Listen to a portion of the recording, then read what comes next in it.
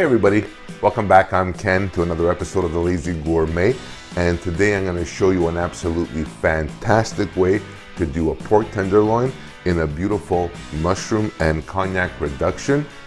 Super easy, super delicious, not heavy on the pocketbook and everybody's going to love this. Now for this recipe I'm using one pound of pork tenderloin cut into four portions a couple of green peppers. The green peppers are actually my own. I'm using two. They're on the smaller side. They're organic. Don't judge. And along with this, I'm using four small onions, again from my garden, and a can of mushroom soup concentrate, some garlic, olive oil, of course, Greek, and some brandy. So to get us started off, what we're gonna do is turn up our heat to a medium high on our pan get that going and preheating. Uh, do a little bit olive oil, maybe three, four good tablespoons or so. I like to go on the more generous side when it comes to olive oil. And basically, take your pieces of your pork tenderloin and just place them into your pan, nice and easy. And just let those go until they become brown on both sides. Now, while those are browning off and are pork tenderloin is going. You can use this time to slowly start chopping up our onion. Nothing fancy, we're just gonna slice it up. You don't have to really do anything too complicated because at the end this is all gonna kind of go down into nothing and you're gonna be left with the flavor.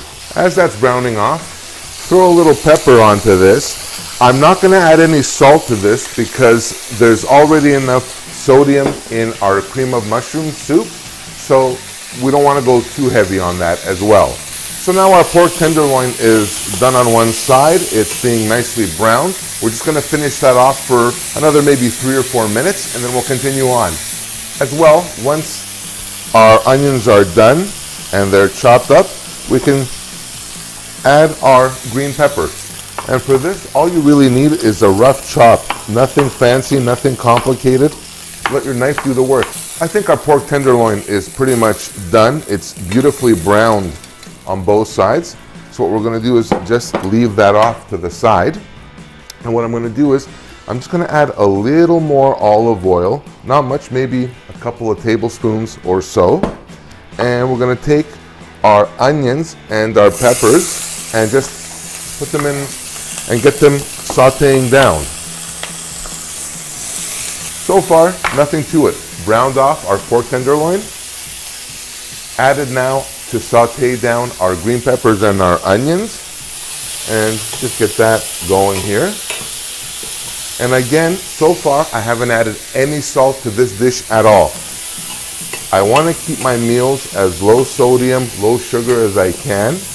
And I think by totally controlling your salt, and if you're adding already prepared stuff, for example, like the cream of mushroom here, the, the, the concentrate, which has already got salt in it, you're already off to the races. I want to add just a little bit of pepper into our sauteing veggies, a little bit of minced garlic, maybe a couple, three cloves or the equivalent of that, and get that working in there. This is unbelievable. The flavors, or actually not the flavors, the smells in here are fantastic. I'm also getting an onion, pepper, and garlic facial here from the steam. That's totally cool. Okay, so now our onions, our garlic, and our green peppers are going. They're sauteing down perfectly. The next part of this is the cognac. You can use metaxa, you can use brandy. I'm using cognac. It's in a funky one of these Greek bottles. But in this case, I would recommend going about half a cup or so. And don't worry, you, nobody's gonna get drunk eating this. It's basically all the alcohol is just gonna burn off. You're gonna be left with this beautiful flavor. Next thing, after our cognac has kind of reduced now, the alcohol is gone, is some low sodium soy sauce. And for this, I'm gonna put in about a quarter cup or so of low sodium. Again, controlling our sodium intake. Still want that background flavor, that buzz of the soya, but without that kind of prickly taste on your tongue. So this is working now. Again, give that like a couple of minutes just to kind of work through and condense down. And it's all about layering and building flavors. And this is absolutely gorgeous the way it's smelling. Absolutely fantastic. This dish as well works even on a weeknight. For example, today is Wednesday night. What am I gonna do? You don't wanna spend four days making something on a weeknight. What you wanna do is basically come home, get the job done, a few common ingredients, and flavor, nutrition, and basically convenience. That's what it's all about. The next part of this is the kicker to this recipe. I'm using one can of low sodium cream of mushroom soup that's gonna go in there.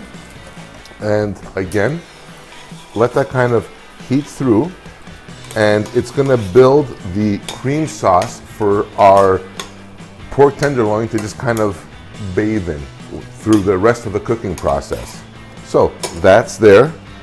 I'm using one and a half cups of milk. I'm using 2% milk. You can use 1% if you like, or you can go with something a little heavier. A lot of people want to go half and half. You want to do like a cup of milk and half a cup of whipped cream. Whipping cream is totally cool too. So our milk goes in just like that. Put this off here. And again, give that a quick stir. And this will come up to temperature now. And as our sauce now and all our flavors are building, it's just it's just excellent, just totally magnificent. You people are gonna love this. You will love this, I promise you. So there's that there. Give that a minute or two, bring the heat up. Once it gets to kind of a little bit of a rolling boil, we're gonna add our pork tenderloin in it and take it from there.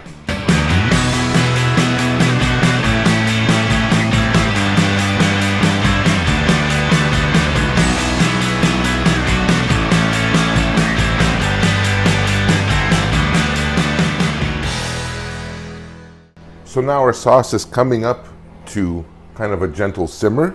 It's time to put the star of our show in, our beautifully browned pork tenderloin pieces. And what you're gonna do is just place them in here, kind of in the sauce, and let them kind of get all nice and happy, happy, comfy, call it whatever you like. Everybody goes in the pool, everybody's joining the party, and there you go. Now that this is covered off and it's on a low simmer, let this go for about 25 to 35 minutes. That's all it needs. Our pork has already been kind of browned off and it's kind of started kind of encapsulating the flavor. Now what we're gonna do is just let it go. Let all the flavors marry, let everything come together. The sauce is gonna tighten up and we'll be ready for an awesome meal. Also, just to kind of add to this, you notice this is all done in one pan. There's not a lot of cleanup to do after this.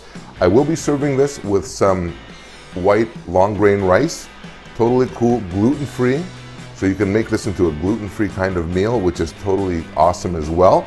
And I'll show you how that works out towards the end, because while this is kind of simmering down, we'll start working on our rice.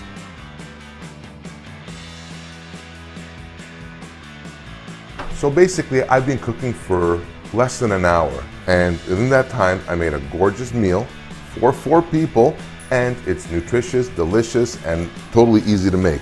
So with this, I've just got some of the uh, converted rice for that I'm gonna put on my plate. Just give this a try here.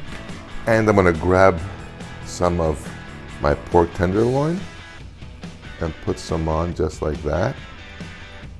How cool is this? How totally cool is this?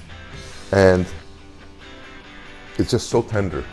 The pork is absolutely done to perfection. It is tender, goodness, deliciousness. That's how good this is. Just do a piece here for you. mm.